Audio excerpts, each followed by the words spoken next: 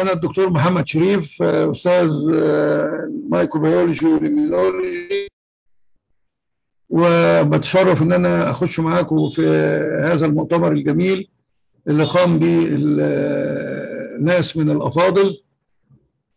واعتمد هذا الكلام عميد الكلية. أنا هديكم النهاردة موضوع عن ال oral immunity in relation to autoimmune diseases. ال autoimmune diseases في بعض الناس كتير قوي متجاهلينها.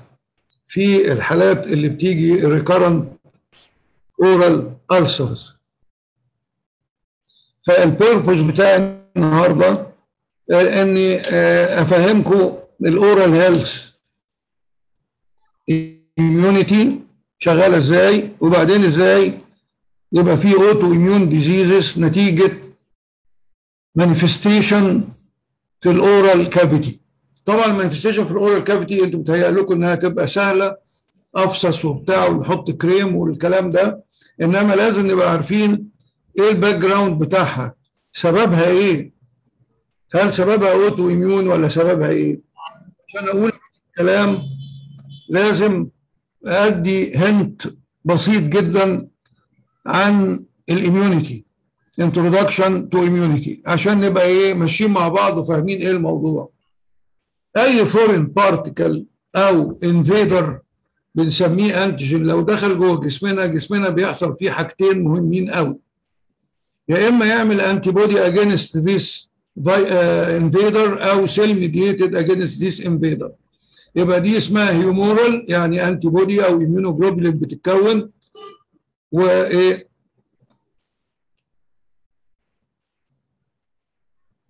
أو cell mediated لكن أنا اللي يهمني النهارده إن ساعات ال antigen أو ال invader ده يبقى موجود وما فيش رد عليه. ما فيش أي حاجة بترد عليه. ده اسمه tolerance أرجوكم تحفظوا الكلمة دي. tolerance tolerance يعني تعود. يبقى أي antigen يا يعمل يا يعمل cell mediated يبقى فيه tolerance عدم استجابة. صوت ولا صوت؟ نعم؟ آه ال immunity نوعين. نوع innate ربنا خلقها لنا. أنا موجود معاهم يا بيه. معاه موجود معاه آه ال innate دي عبارة عن آه حاجة ربنا خلقها لنا against أي microbes أو invaders غير مقبول في جسم الإنسان. adaptive يعني الجسم هيبتدي يتعرض لهذا ويفلت من ال innate فيبتدي أشتغل يا إما ال immune system يعني يا إما يشتغل humoral يا إما cell mediated ال adaptive immunity قلنا humoral أو cell mediated كلها بتتلخص في خلية اسمها ال lymphocytes خلايا اسمها ال lymphocytes طالعة من ال bone marrow في نوع منها اسمه T lymphocytes اللي في النص ده وده أهم حاجة. في نوع اسمه B lymphocytes وفي نوع لا لا ينتمي إلى ال T ولا ال B اسمه natural killer بس هي lymphocyte ال natural killer دي مش عاوزة أي مساعدة. natural killer دي react against invader وبتعمل له destruction أو apoptosis وتخرجه من الجسم. إنما ال T lymphocytes في نوع منها اسمه T helper وفي T cytotoxic و T regular أو regulating ال T lymphocytes ال helper في helper 1 بتساعد على ال activation بتاع ال T cytotoxic وال immune response تبقى cytotoxic بتقتل الخلايا بتعمل لها apoptosis ال T helper 2 بتعمل activation لل B lymphocyte اللي هي ثالث واحدة دي عشان تطلع immunoglobulins أو antibodies against ال invader. دي ملخص كامل للل lymphocytes وللإيه؟ ولل adaptive immunity لو اتكلمنا عن ال oral health وده تخصص مهم جدا في بلاد كتيرة بيكسبوا منه كتير نلاقي إن ال oral health ده mainly innate ولكن في منه adaptive يعني antibody أو cell mediated ال innate دي بتاعت ربنا أنا بتكلم بسرعة معلش. ال innate دي عبارة عن أو أهم حاجة في ال oral cavity بتدافع عنه ال mucosa ال saliva ال gingival أو ال gin ال gingival بالذات يعني.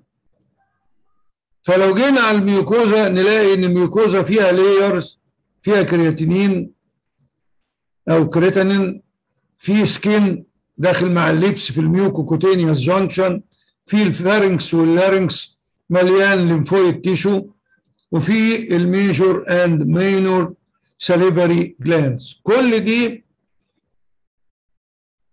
عبارة عن immunity local في ال oral health وبتشتغل على ال mucosa ال saliva هتكلم عليها بعدين.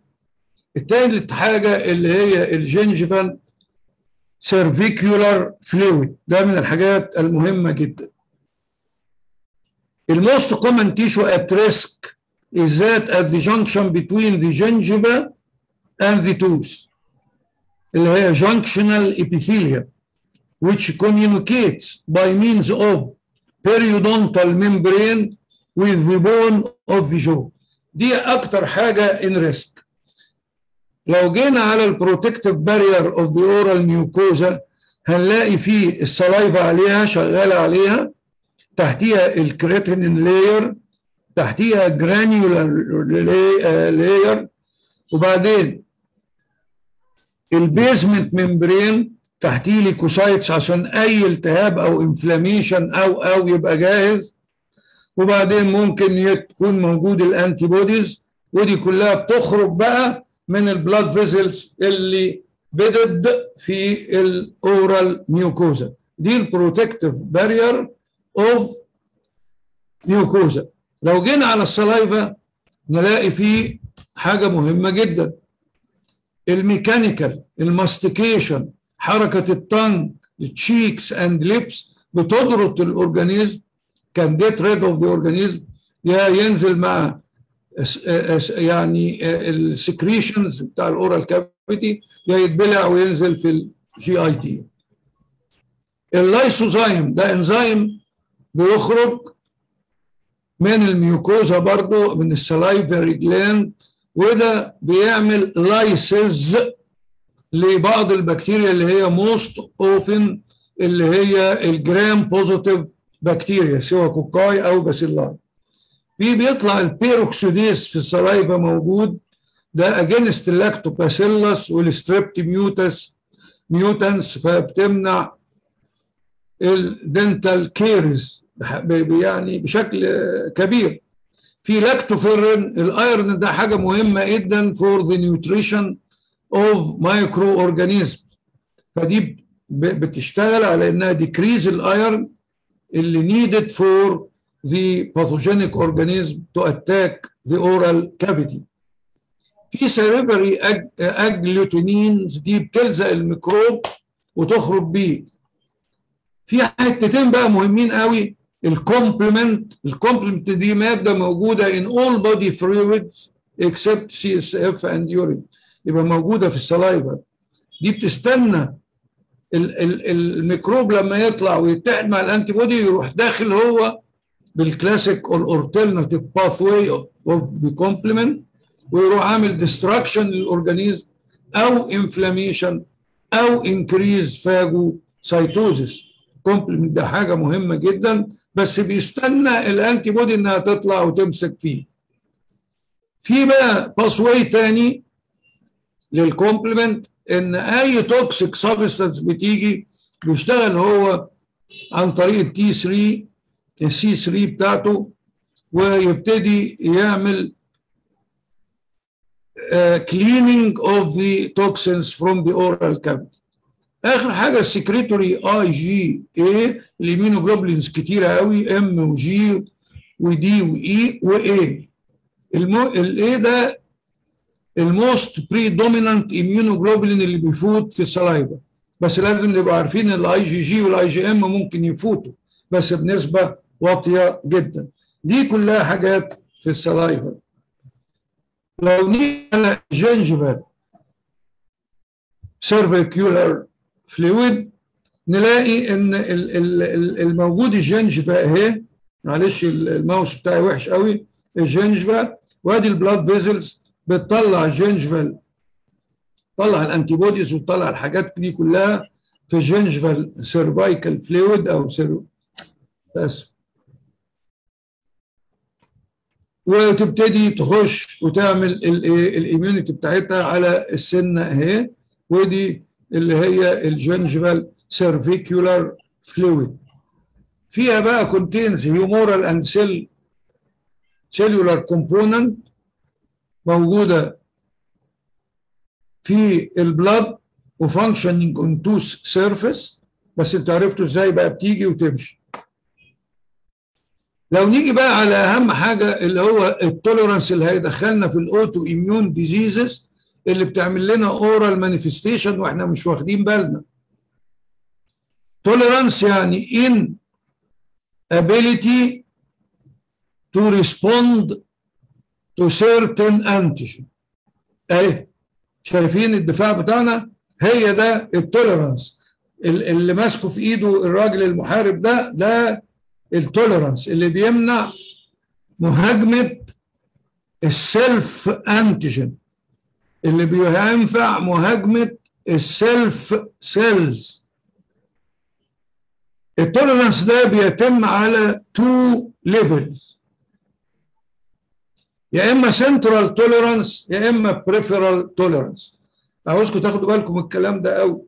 لازم تبقوا عارفينه. لأن ده حاجات بتاعت يعني researches وال research كلها بعيدة عن ال immunology أنا مش عارف ليه. ال central tolerance ربنا عامله. ربنا قال إيه؟ قال during embryonic life في ال embryogenesis أثناء أثناء تكوين خلايا الجنين أي خليه بتتكون؟ في خليه ضدها مفروض تعمل immune response الخليه دي بتبقى naive بتبقى جاهلة جاهلة not develop فايه اول ما الخليه دي تشوف خلية ال liver خلاص تمشي ما تجيش جنبه تاني tolerated ما تعملش ضده أي immune response شافت ال bone نفس الكلام. يبقى إذا الجسم كله هيعرض نفسه للخلية اللي موجودة أو الخلايا اللي موجودة اللي المفروض تكون immune response ضده. الخلايا دي naive لسه. في ال intra embryonic life وبالتالي it will be deleted وما تشتغلش تاني خلاص. يبقى اذا الجسم دلوقتي لما الطفل ده يتولد يبقى protected. Protected against ال self immune response ال self immune response ما تردش عليه نهائيا. علما بأن كل خلية بتعمل immune response لحاجة معينة. يعني خلية ال liver دي هسمي ال liver ده أحمد. يبقى في خلايا المفروض تكون ضد أحمد لا مش هتتكون لأن هي شافت أحمد intra embryonic فبقت deleted ده سنترال ربنا عمله. أي حاجة هتتكون في الجسم أثناء ال embryogenesis ال immune system كله بتاعها دي will be deleted. لكن حاجات هتتكون بعد ال ال ال الولادة يعني post natal لا بقى هتضرب فيه على طول. في شوية من ال central tolerance تفلت تفلت. ففي ال peripheral tolerance ال peripheral tolerance ده يعني هنفهمه كده سريعا. أي حاجة غريبة تخش أو تبقى موجودة الجسم بياخدها ويسلمها لل T lymphocytes عشان تعمل either antibody ضدها أو cell mediated عشان ال T lymphocytes تشتغل عاوزة حاجة اسمها costimulatory factors يعني إيه costimulatory factors يعني است... يعني حاجات نسميها cytokines cyto خليه kines محركة. ال cytokines دي هي لغة الكلام. ال language اللي بتتكلم بيها الخلايا. أنا بتكلم معاكم دلوقتي أنتوا فاهميني. فاهمين أنا بقول إيه؟ الخلايا ما لهاش لسان ولا تتكلم إنما بتتكلم بحاجة اسمها ال cytokines ال cytokines دي بقى معروفة دي لل T ودي لل B. فال peripheral tolerance بيوقف دول. يعني صحيح إن ال antigen دخل ومفروض انه يهاجم لكن مش قادرة ال immune system ضده تشتغل لأن ال costimulatory وقفت. دي اسمها peripheral tolerance ال peripheral tolerance لها حاجات كتيرة قوي. أول حاجة ال anergy أو anergy. anergy يعني هبوط في ال receptors بتاعة ال antigen وبالتالي مش هتشتغل هتبقى tolerated هتقف. ال ignorance ال ال ال ال مش مش عاوز أقول الغباء العدم معرفة. ignorance بإيه؟ بحاجات مستخبية في جسمي. هي اتوجدت post natal مش intra natal intra natal خلاص فهمنا ده peripheral وانتهينا. دي سنترال وانتهينا. هتختفي. إنما في حاجات sequestrated مستخبية عن ال immune system لو شافها مش هيعتقها.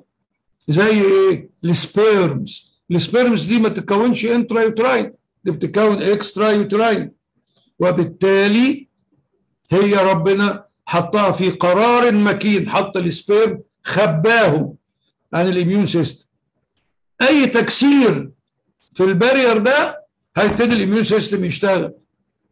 لأنه ما حصلوش central deletion وبالتالي دي حاجات sequestrated في في ال eye في anatomical structures في ال eye الجسم ما يعرفهاش intra intra abdominal يعني during embryogenesis. وبالتالي بعد ما الطفل يتولد لازم تكون العين دي in barrier sequestrated محشورة. ال CNS برضه sequestrated barrier يبقى ده ignorance في ال regulation regulation يعني إيه يعني لما المفروض ان ال antigen يخش يا اما antibody يا cell mediated خلصنا من ال antigen لازم الخلايا اللي موجوده تبقى فيه regulating T lymphocyte T regulating توقف ال mechanism بس خلاص كفايه مش كله ضرب بقى. شتيمه كفاية إنما كده كفاية. تخلصنا من ال antigen لازم ال immune system يقف. يبقى ال regulation دي مهمة. وبعدين المفروض ال cytokines اللي هو ما بيجيش فيبقى ده helpless إيه ليه بيجي لنا autoimmune diseases مع إن عارفين إن ال tolerance اهو central و peripheral و ignorant والكلام ده كله؟ قالوا genetic factors في جينز في ال HLA اللي هو human leukocytic antigen ده مهم قوي في ال transplantation مهم قوي. ففي أنواع منه بتتواجد في أنواع معينة من ال autoimmune disease دي بتشغل ال immune autoimmune بتهيج ال autoimmune mechanisms دي genetic factors اللي هو ال major histocompatibility اللي بنسميه human leukocytic antigen HLA في class 1 في حاجة اسمها HLA B 7 تعمل spondylosis في واحدة اسمها DR تعمل آه autoimmune آه diabetes وهكذا. يبقى ده أول حاجة ال genetic factor تاني حاجة ال host factor ال host ذات نفسه. وجدنا ان إن ال autoimmune diseases في ال females 85%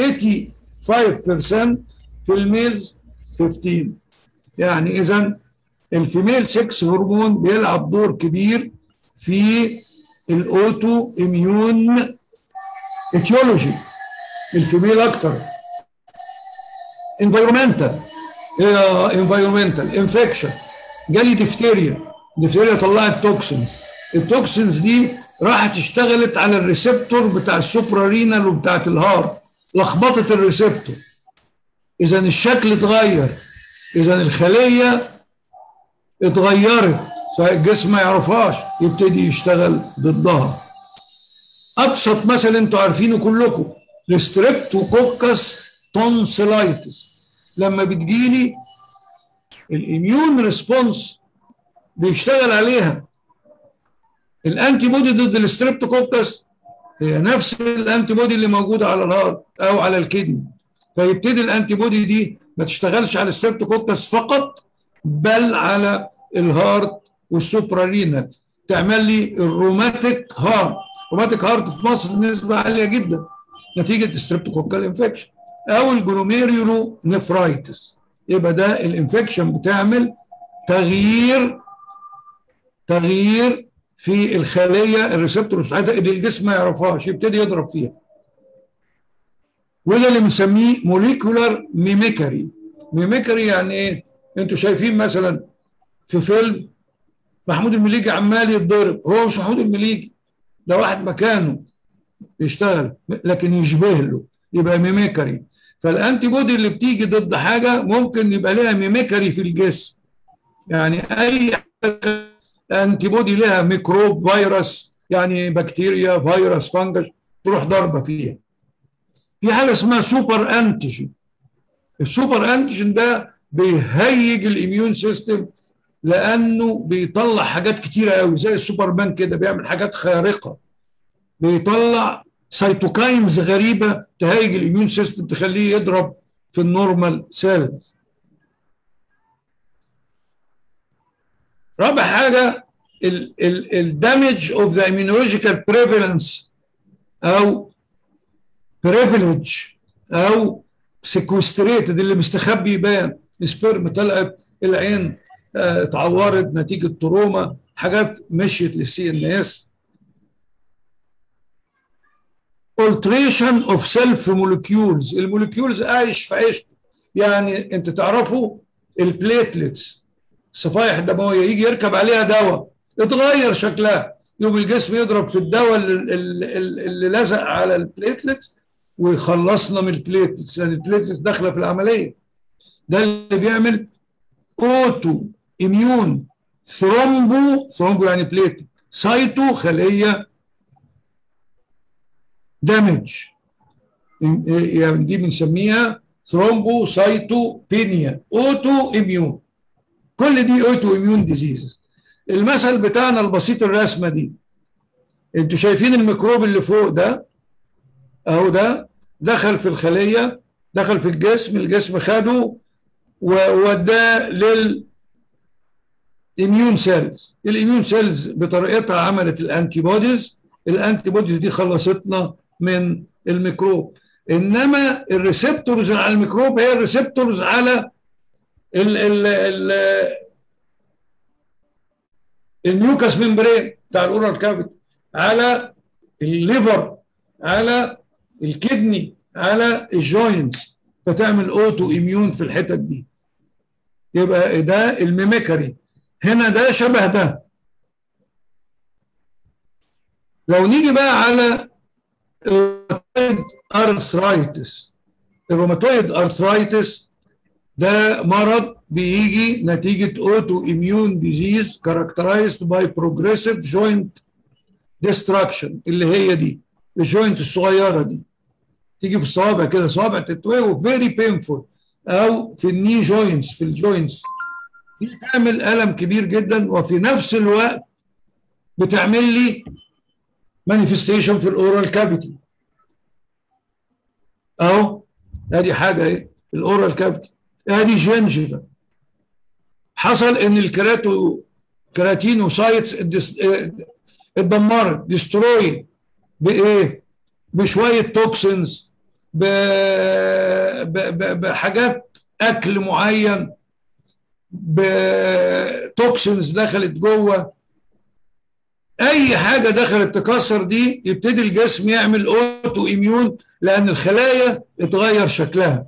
واتغيرت بقى ال epithelial cell وال basement membrane وال lamina propria وتعمل لي aphthous في ال oral cavity إيه بقى ال aphthous ده؟ ال aphthous ده موجود في جميع حالات ال autoimmune diseases أنتوا لازم تخلي بالكم منها. لازم ال oral medicine ياخد باله من شكل العيان وال complaint بتاع العيان ويقول ال aphthous دي سببها كذا عشان نعالجه نعالجه صح. مش نقعد نحط كريم ومضمضة والكلام ده. ال aphthous دي في aphthous minor و major وفي herpetic aphthous الثلاثه دول more in females at any age في family history فيهم عالي جدا. من 25 إلى 45% ال manifestation بتاعته soreness sensation يقعد يوم أو يومين قبل ما ال ulcer تظهر. Increase pain associated with inflammation. يحصل inflammation وال pain يزيد قوي وبعدين gradually disappear. أدي ال aphthous دي ال aphthous major أهي. وبتبقى ساعات كبيرة قوي فوق هنا. ودي شوية aphthouses موجودين سهلين قوي. ودي كلهم autoimmune ونعرفهم إزاي. أول حاجة في الأوتو اميون البهست البهست إيه البهست ده؟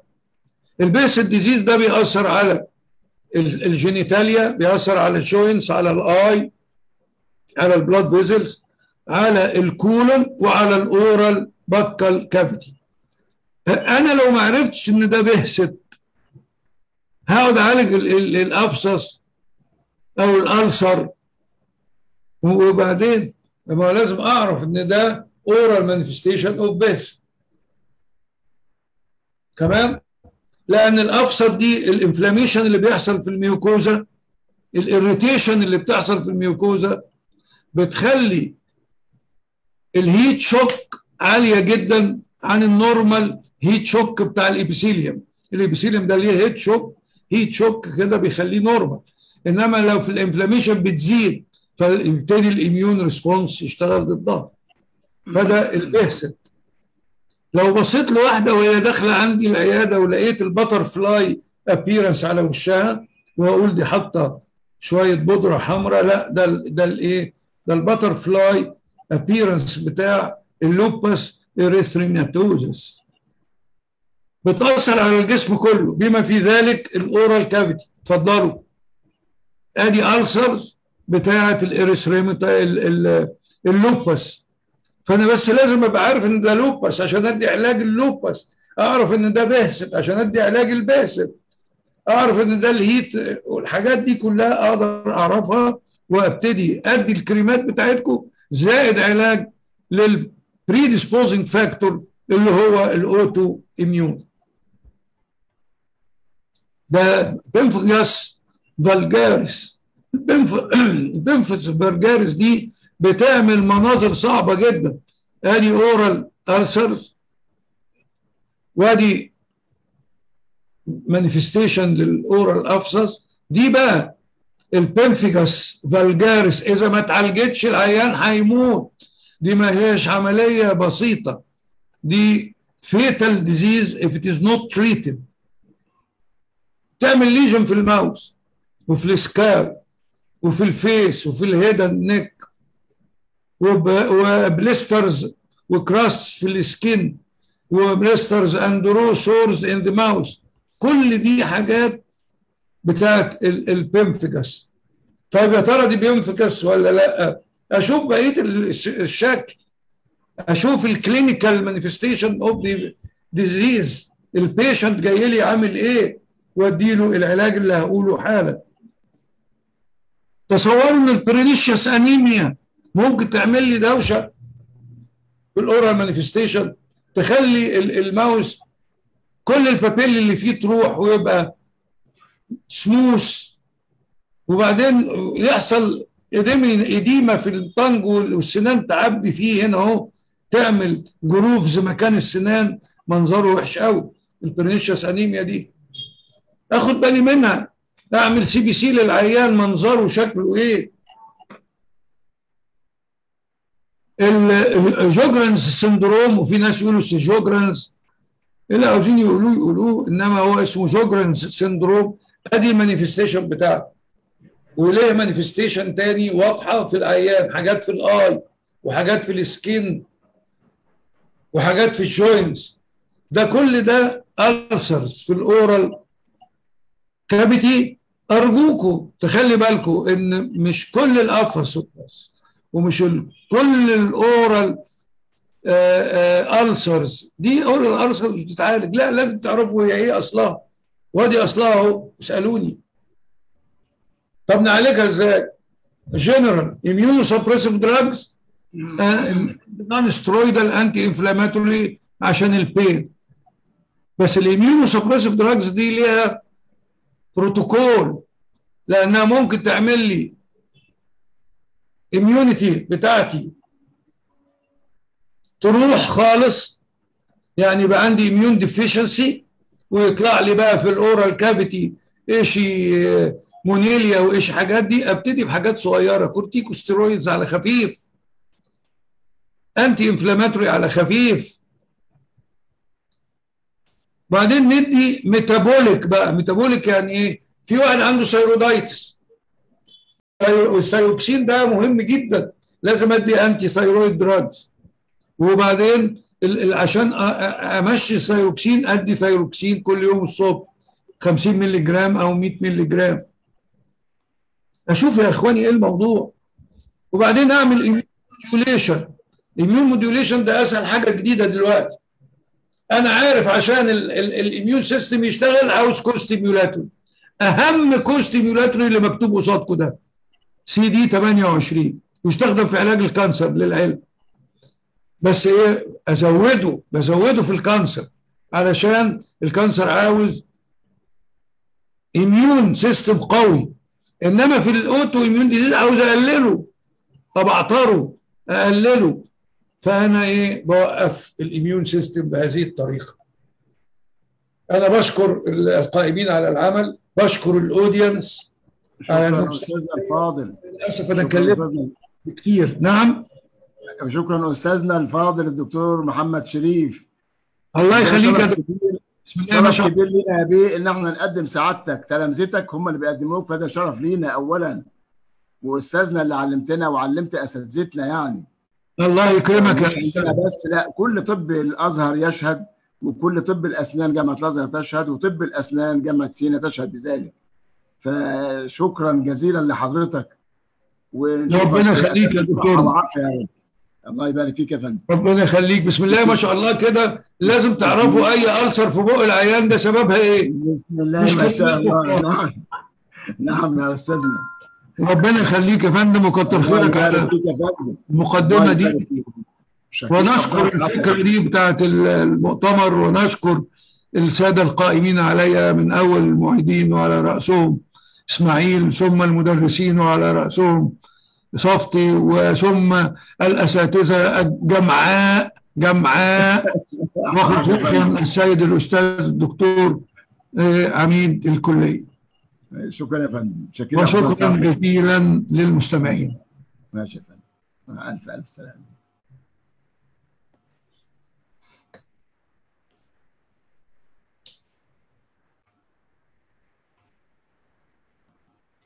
شكرا لأستاذنا الكبير الأستاذ الدكتور محمد شريف. أستاذنا طبعا غني عن التعريف في كل مجال الطب وطب الأسنان وكل أساتذة طب الأسنان اللي هم من جيلنا يعني. يعرفوه حق المعرفة وغني عن التعريف. أستاذ ال microbiology وال immunology في جامعة الأزهر وجامعة سينا. السلام عليكم ورحمة الله.